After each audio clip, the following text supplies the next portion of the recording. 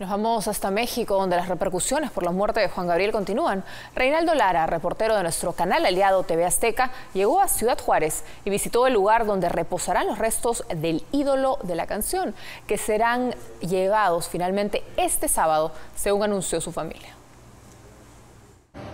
¿Qué tal? Seguimos una vez más aquí afuera de la casa del divo de Ciudad Juárez, Juan Gabriel sobre la avenida 16 de septiembre. Y es que ya se confirmó lo que va a pasar con las cenizas, todo el evento que se va a realizar aquí en la frontera para honrar a Juan Gabriel. Y todo va a comenzar a las 5 de la tarde en el Aeropuerto Internacional del Paso, Texas. Ahí van a llegar las cenizas. Lo van a llevar a uno de los puentes internacionales, el puente Santa Fe.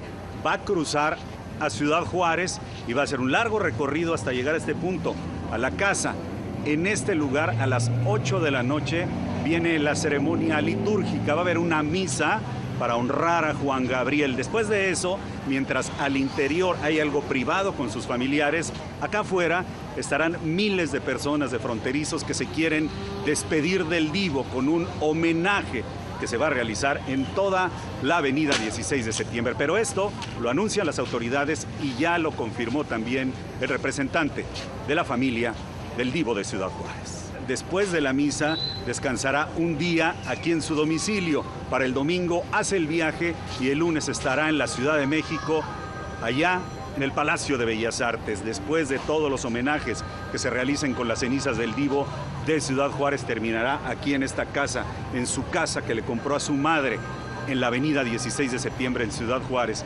Hará una pequeña ceremonia familiar y lo van a dejar en una chimenea donde quedará por siempre la imagen del divo Juan Gabriel. Es mi reporte desde la frontera.